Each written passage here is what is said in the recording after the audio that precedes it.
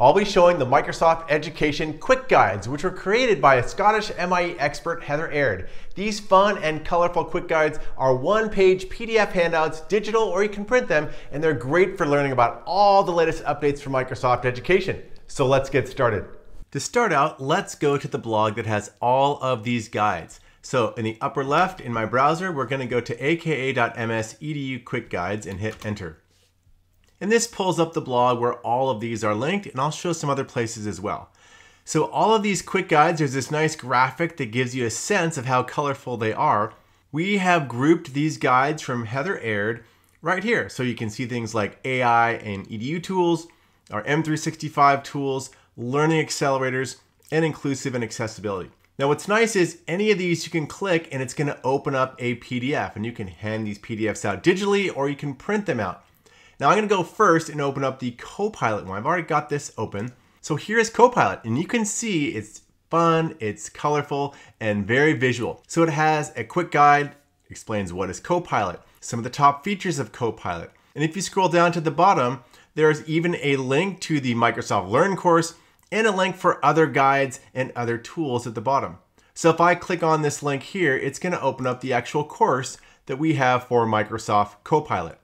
Moving on to some other ones, here's the one about AI in Teams. We just put out a bunch of free AI features for educators built into Microsoft Teams for Education. You can see the nice colorful examples on the page here. Another great AI one we have is Reading Coach with AI Stories. This one has been really popular, being able to let students pick their own adventure and picking the path and generating that story to practice reading out loud. And there's also examples at the bottom where you can find these tools. This one is coach.microsoft.com. We even have Khanmigo for Teachers. This was a partnership that we recently announced with Khan Academy, and Khanmigo for Teachers is free. Moving on to some of our learning accelerators.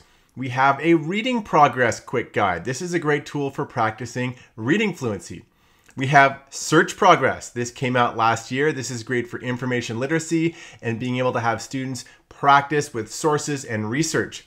A brand new one that just came out is Speaker Progress and the ability to practice communicating and public speaking. And at the top, you can have things like what is speaker progress in case you're not familiar. Things like creating assignments, different types of delivery, feedback and content feedback, and insights.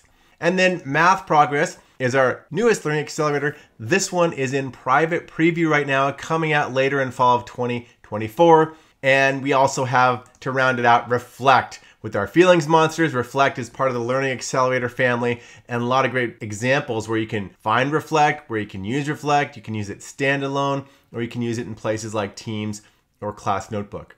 Moving on to M365 tool examples, Classwork in Teams, this is a great one if you're using Teams for education, putting together modules and assignments and resources. The ability to reuse modules, which not everyone is aware of, it's a brand new feature. We've got our good friend, the OneNote Class Notebook. And so what is the Class Notebook? Being able to embed in Class Notebook, immersive reader, being able to assign things. And then we've just got a core OneNote quick guide. Moving on, we have Forms. Forms is one of our most popular tools, both forms and quizzes. So being able to create math quizzes, new features like practice mode and present live, which you might not be aware of.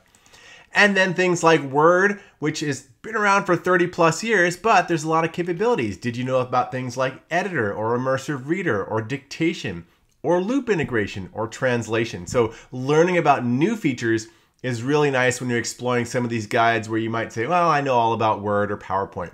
But then we also have new apps like Microsoft Loop, which is rolled out for educators who use A3 or A5, as well as students. Loop is our new collaborative tool. And then Stream, which is our video platform. This is great for your inside of the school system, creating videos, screen recordings, teleprompter mode, captions, and transcripts. Even apps like Bookings, what you might not be familiar with, this is great for being able to create booking calendars or office hours or multi-seat events. This is a great tool that's been quite popular for educators that have discovered it. And then of course we have Minecraft in education. This is a great one if you haven't tried out Minecraft yet. And then to wrap up and round out the last few categories, we have inclusive and accessible. So one of my favorites are the digital tools for dyslexia. This is great, things like immersive reader, dictation, editor, the to-do app, picture dictionary, so a great handout to show the M365 tools that support dyslexia. Immersive Reader has been one of my personal favorites for many years. Our team has worked on this. Helps with reading, can help with focus mode. You have all types of aspects like text, reading preferences, breaking words into syllables, different voice options. And then speech to text dictation is rolled out in many, many different areas now. You can see at the bottom, it's in PowerPoint, it's in Word, it's in OneNote, it's in Outlook.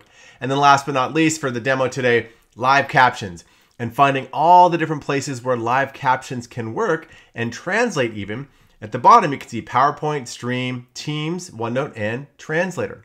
So these are the Heather Aird quick guides. Now the other place that you can download all of these, you have the blog that I showed in the beginning, if I go to one of these, you can see at the bottom it says find additional quick guides to get started. And if I click this link here, it takes me to this resource center. You can see the link up at the top. I'll also put that in the description. If you scroll down, you're gonna see a bunch of these quick guides right here in that resource center. And you can see at the bottom, there's many different pages. So there's these nice storage points in our resource center and many of these guides have those links right at the bottom, just like you saw in that Copilot one. There are links to that app.